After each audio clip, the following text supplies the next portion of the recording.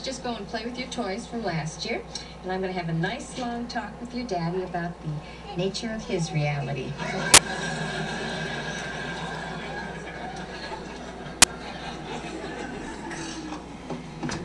Okay, here we go. How could you do that? What? I didn't do anything. Oh, you were about to. You know, Ray, I know you're upset with your father, but how can you think about outing Santa? Or would you she heard it on the streets? Oh, please. I'm sorry to have to do this, Deborah, but Frank is absolutely insisting he get his rowdy old sweater back, which is probably the best thing that ever happened to the needy. Oh, take it. Uh-oh. What's the matter? Nothing, nothing, nothing's the matter. No, nothing at all. So Ray was just about to tell Allie the truth about Santa Claus. You what? No, I didn't tell her. My own son, an atheist? An atheist, Mom.